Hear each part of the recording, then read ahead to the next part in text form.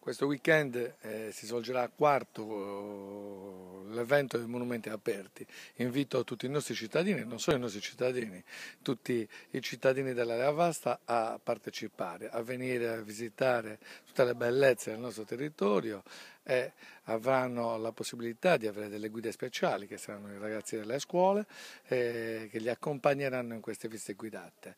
È un'occasione per vivere una giornata diversa siamo sicuri che il tempo ci aiuterà, le previsioni sono buone, sono previsioni di sole e quindi venite a Quartu e, e, e vivete insieme a noi questo bellissimo evento.